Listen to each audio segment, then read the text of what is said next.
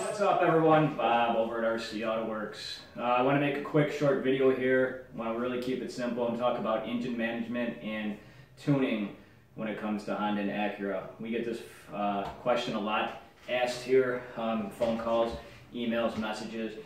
We get on a daily basis. Uh, someone will call us up and say, hey, can you tune my Honda or Acura? And we reply back and ask, sure, what kind of engine management do you have? And that's where we lose a lot of people.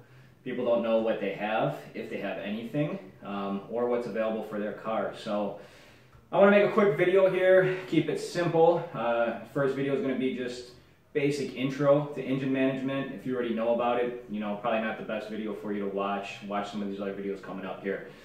Um, I want to start, pretty, it's going to be a two-part video. We're going to talk about newer cars, 2002 and up, newer Hondas and whatnot, and then we'll talk about the older Hondas. Um, and we're going to just get right into it for uh, you know first and foremost here. Um, Flash Pro, not sure if you heard about it and whatnot. Um, produces it. Um, anything 2002 and up, this is what you're going to want to look for. Um, it's a simple device. One side's going to plug into your scanner port. That one here, already open down here. One side's going to plug into your scanner port. The other side is going to come out with the wire and it's going to plug directly into your laptop. At that point, you download the software and you could mess with your vehicle or you can simply bring it to us and we can dyno tune it. Um, so this device right here is about six, I think it's 690 or 695, I can't recall. Um, real simple plug and play device. Um, if you don't ever plan on messing around with it yourself, uh, the device I just showed you was actually a Flash Pro dealer version which allows us to basically license your vehicle so we can tune it on Flash Pro. That costs 350 bucks uh, for the license, so it's something else to look into and consider because you're going to save uh, a good amount of money. And if you know, once once we tune your car, even if you have this, you can unplug it and you don't need it. It doesn't need to be plugged in at all times. Uh, once we save the tune to your ECU, uh, your computer on your car, you're good to go. So you know, might be something to look forward to with that, uh, that, that, that, license. If Flash Pro's not out there for your car, I know they don't support some models. Uh, I know the S2000 prior to 06, they don't, they don't support with the Flash Pro. I know the Acura RSX they don't support. They have another uh, piece of equipment called K-Pro. Um, you can look into that too. We'll provide some links down below. Basically, K-Pro though is not a plug and play type deal. Um, it's a little circuit board that you have to have soldered into your computer. And if you don't know how to solder, um, professional is going to have to install it for you. So it's not as easy. It's a little bit more complicated. Uh, the software is pretty much the same deal. It's just getting started and getting up. So basically, if you got a 2002 and newer vehicle, this is what you're going to want to look for um, for that setup. Now, as we start talking about the older cars, and I have these ECUs, uh, computers set up, um, we're going to talk about chipped ECUs. We're going to talk about uh, Hondata S300. Um, I'm going to get a little bit more in depth on that because not a lot of people, you might have heard the term, you might have heard someone say, well, you need a chipped ECU or you, you know, you need a S300, but have no clue what it is. So I'm going to make this simple. I'm going to just go right in line here. Uh, S300. Um, basically what this is, and this is what I was kind of talking about the K-Pro, a little circuit board that you're going to socket your computer over here, and I'm going to talk about that here shortly. And then this will plug right into it. There is a cable here that comes out and it plugs up into your laptop. Nice and simple. After you have this installed in your computer, it takes seconds to hook up your laptop and either tune your vehicle or data log. That's going to be the big thing here too. Um, the pros and cons over a chipped ECU and say an S300. Um, if you're doing any kind of racing, even if you don't know what you're looking at, but you want a data log. Maybe you have a race on the weekend and you know your tuner can't make it to be trackside, but you want to record some of those runs. Sim, you know, you press a button, it records it, and you can send it off to him, you know, directly. He can look at it, you know, within minutes. So S300 is nice for that feature.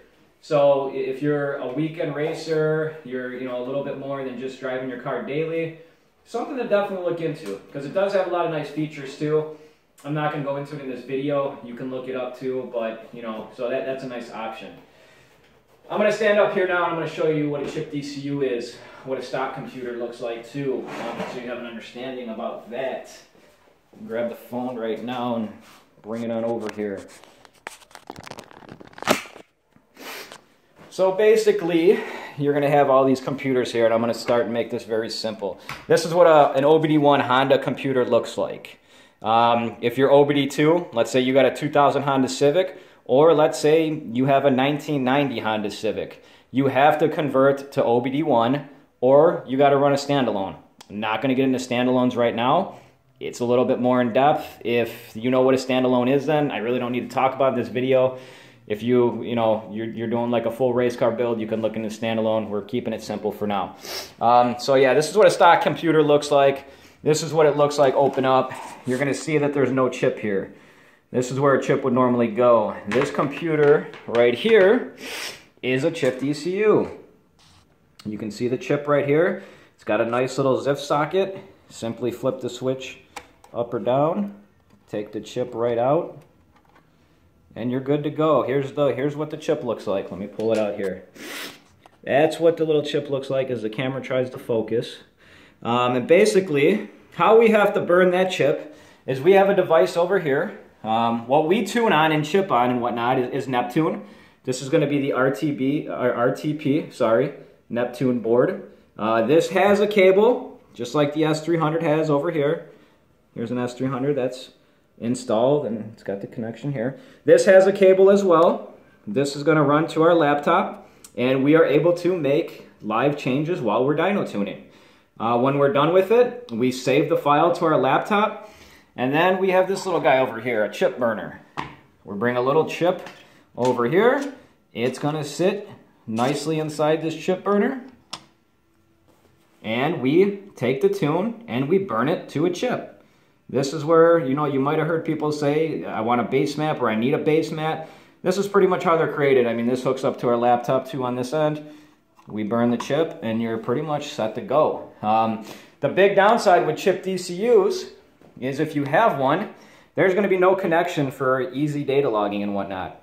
Um, if you have one of these devices, then you can data log, but at the same time, uh, the S300 is available. The S300 has a couple more options to look into. Uh, you're almost around the same price. Um, so, I mean, if I were to, you know, recommend anybody something, it would be the S300. Um, they have some nice add-ons and whatnot, like the coil plug setup, the traction control, and whatnot. So here's a little more detailed look of the S300. That little circuit board pops right out because we have the socket already inside. Um, it's got a socket. It's a little bit different than this, but it just plugs right into the ECU. Um, so, I mean, that's pretty much in a nutshell. You have your chipped ECUs. You have what we tune on for chipped ECUs called Neptune. Um, you have S300. You have the Flash Pro for newer cars. Um, I mean, and that's that's pretty much your your Hondas from 88, even if you got a prior Honda, all the way up to 2015, 16, 17. Uh, the new 10th gen Hondas that are coming out, this is what they're all running on. Um, and we'll talk a little bit too more about different manufacturers and models, uh, such as for Nissan. All the newer cars, though, switching over to something easy like this. So hopefully that explains some stuff for you. If not, I'll provide an email and our phone number. We're here pretty much Monday through Friday. Saturday and Sunday sometimes too. You can give us a call or you can email us. We're here to help. Um, no question is too small or too, you might think it's stupid and whatnot, but you know, in reality, ask away. You got to start somewhere. This is where we all started. We've, I've been doing this now for a little bit, um, probably close to 15 years or so. I'm going to work on getting a better mic too for this camera. I know it's a little echoey, I apologize for that. But that's it in a nutshell. I think I pretty much covered everything. Um, yeah, hopefully it helped some of you guys out. Leave some comments below, shoot us an email, give us a phone call. I watched such and such video, but I got a question. Give us a call. We're here to help. 708-599-5884. We'll provide the link down below. Emails rcautoworks at gmail.com. If you're local to us, stop in anytime. See if I'm here. I'd be more than willing to help you out and talk to you and, you know, answer any questions you got. Thanks for watching. I'm still going to send it.